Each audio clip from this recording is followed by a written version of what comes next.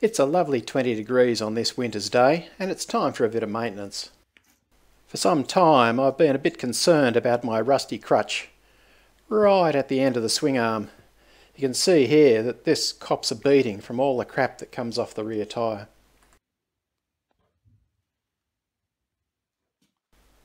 But it's not too bad considering the bike's 7 years old and has done over 100,000 k. Nevertheless, before removing the axle I find it easiest to just put a bit of uh, electrical tape around the back adjusters to keep them in place. This makes it easier to fit the axle when I replace the wheel.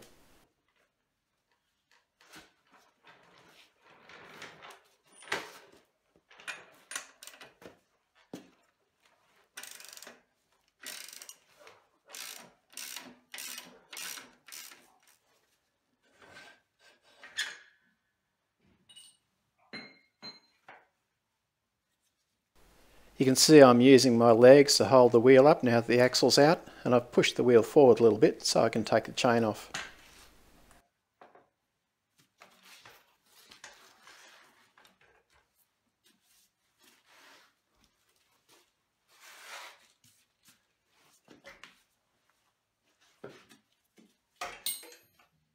With the wheel out, I've got easy access to my crutch. So, a little bit of cleaning up first, just get rid of the excess dirt and grime. And let's just see how bad this really is.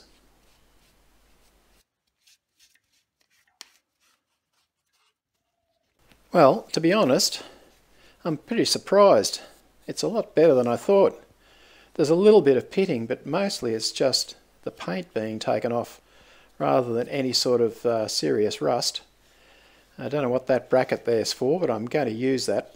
You'll see that in a minute. I'm actually going to put a plate over the top of everything once I've repainted it. But first, let's give it a bit of a clean up, and the easiest way to do that is just with the finger sander.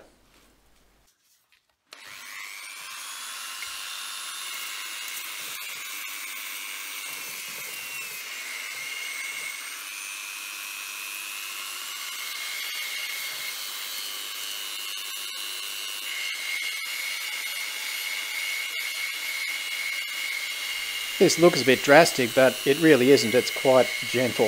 It's only just taking the paint and the rusty bits off, just leaving some nice shiny surface.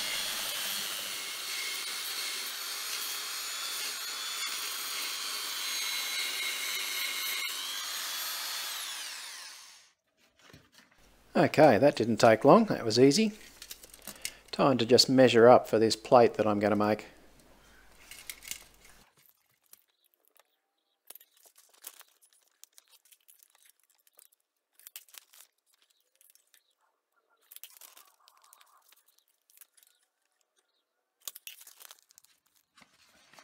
Right, that'll do for my purposes. And I'm going to be putting two holes to retain that plate. Very fortunately, I've got a piece from a previous project that's almost exactly the right size. Only a little bit to trim off.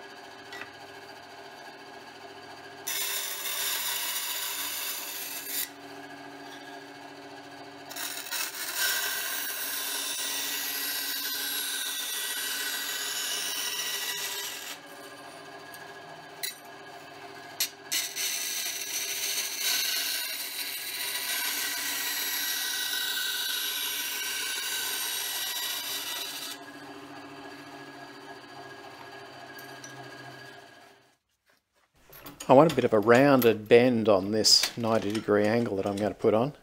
So I'm not just going to bend it in the vise, I'm going to beat it on this old vise.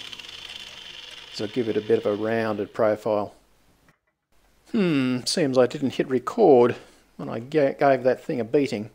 Anyway, now I'm just using the vise just to get it in exactly 90 degrees now that I've got a bit of a curved corner on that.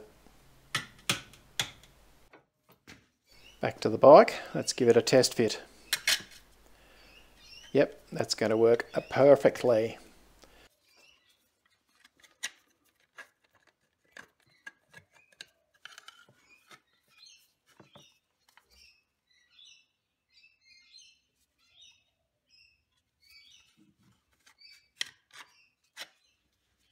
I'm going to use a couple of M6 Allen head bolts to secure this. So, a couple of 6mm holes will do the trick.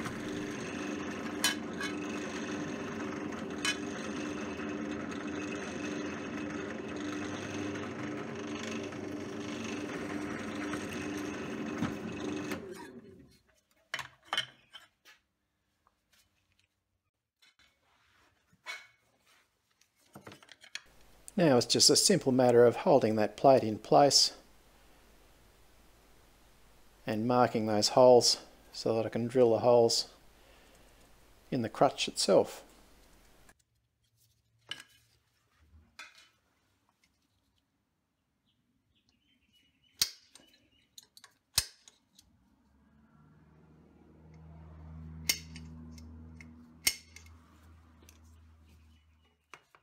This steel plate is thick enough to be able to tap a thread in, so I'm just drilling a 5mm hole to be able to tap an M6 thread.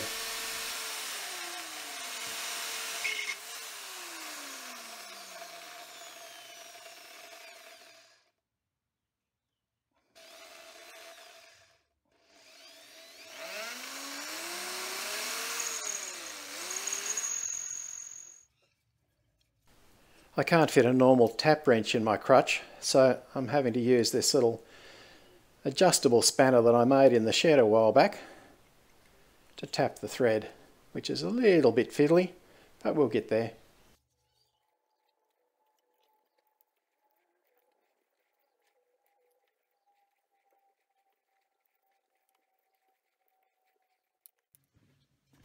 Both threads are tapped. Now I'm just putting a couple of old M6 bolts in the hole because I'm now going to paint that area. And I don't want the paint to go in the holes.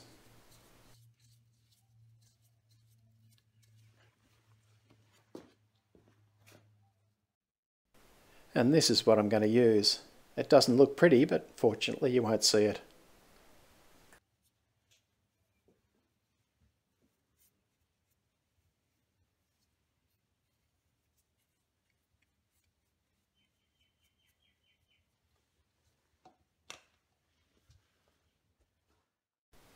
Now that that area is painted and nicely sealed up, I can remove those old M6 bolts and put the plate on.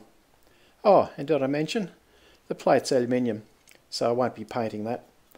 And I've got some nice stainless steel bolts.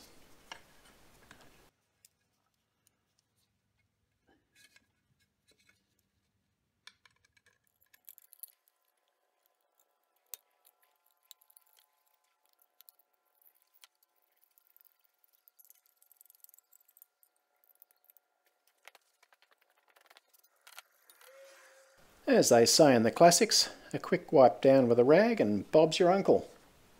Job's a good un.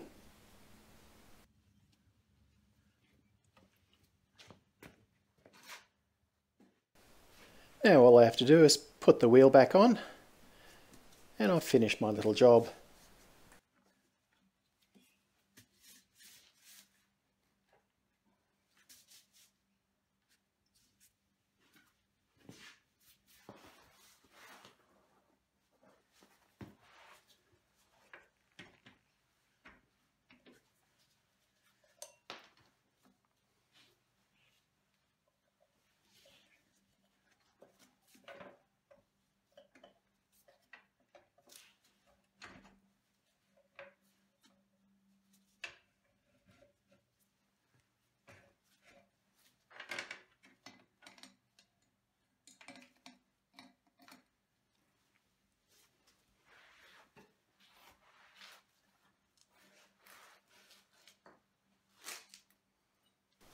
Now, I would normally re-grease my shaft at this stage, but I find that there's plenty of grease already on it.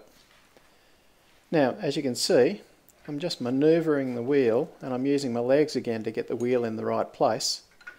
And because the adjusters are in the right place as well, it's a pretty easy process of getting that axle back in.